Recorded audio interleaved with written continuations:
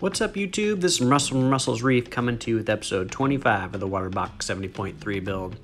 Uh, this episode, I just kind of want to go over a couple of the bumps of the road that I've been hitting lately. Um, the tank is pretty much on cruise control, but I do have a couple of outstanding issues that I've been working on.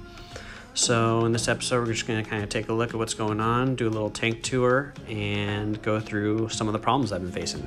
So let's take a look. So we'll start off with a little tour of the tank. Uh, here's the Zoa Garden on the left. Uh, as you can see, everything's really taken off. I wish there was a little more diversity in the colors, though. Those purple pallies are kind of taking over everything, and they're not very bright. But the Digitata and the Acros over there look good. Um, Monty Cap's looking good. That Goniopora I bought is just a small little frag, and now it's getting pretty big, which is nice. I'm having some trouble with the Rastazoas. Um, they've been closed up for a while. I'm not sure if they're getting stung by that Goniopora or what the deal is, but yeah, just keep an eye on them. Uh, that Weeping Willow Toadstool is looking awesome. I love that thing. Over here, some more acros. You can see they're all doing good, all puddling out at their base, so everything's definitely growing. Um, I got two PC rainbows up there. One's a little more colored up than the other, but that's just an awesome piece. I love it. Uh, everything else over here is looking good. Uh, that pink tabling acro is taken off, it grows super fast. It's not very bright, but in real life it looks a little better than that. Uh, the bubblegum digi, as you can see, looks crazy, and then this Zogarn on the right just looks awesome. Came together really nicely, so really pleased with that one. Uh, this little Monty Porygarn over here looks cool too. I love the Digitatas, they're so bright and their growth structure is always really interesting and crazy. The only problem is they break so easy, so just gotta be careful with that. But overall, as you can see, the tank is looking pretty good and I'm feeling pretty good about the tank as a whole right now. Uh, besides the tank uh, tour, I just want to kind of go over some of the issues that I've been dealing with. Um, most of them are revolving around water chemistry issues.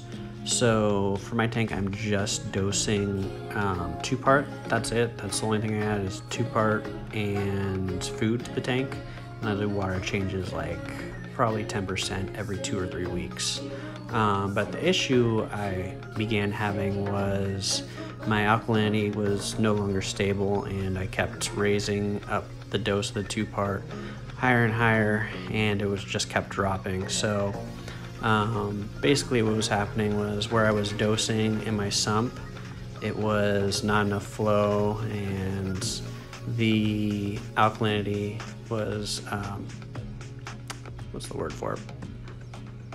Precipitating, and basically, I was just not able to get my water to hold the dose that I was uh, adding to the tank.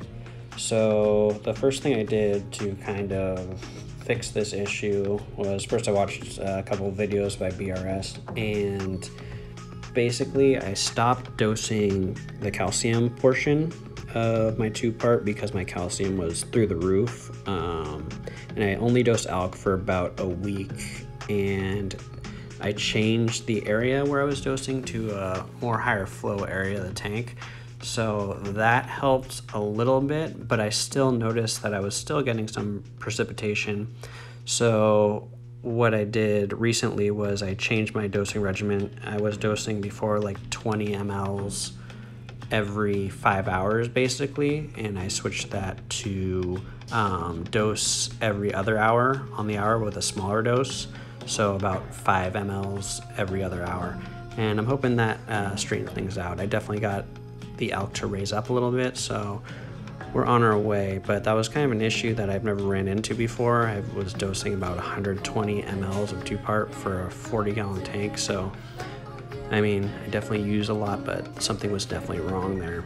And kind of the main thing I got out of this whole situation was if you're dosing way too much and nothing is going up, it usually means that you're just dosing too much. So it's kind of counterintuitive because once you get to a certain point, uh, the water just can't hold it and it'll just precipitate out, and then that'll make your alk drop even faster. So I'm hoping that now that I changed the dose to smaller dose, spread throughout the day into a more higher flow area, it'll fix the problem. But I'm definitely keeping an eye on it, and it was definitely um, a new situation for me that I, I'm hoping that I, I fix, but only time will tell.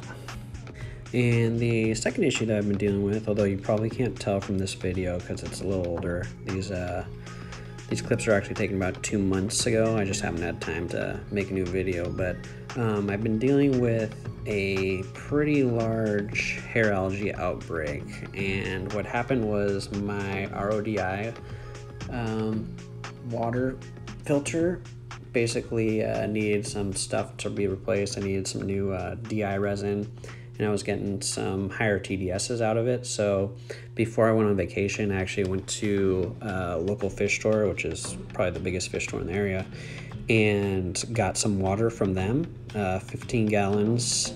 And I think what happened was because I didn't really change anything else in the system, is that water must have been um, just a little higher in TDS, and it led to a pretty huge algae outbreak. Uh, it's really the only thing I can think of. I didn't change anything else in my system, and I was actually feeding much less than I was before. So um, that just goes to show you just um, you never know what you're going to get when it comes to water at your local fish store. So, in my opinion, it's always better kind of make your own water just so you know exactly what you're getting.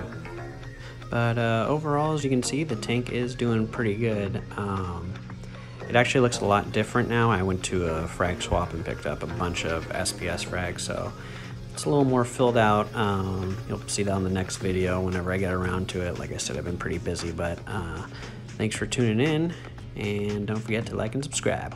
All right.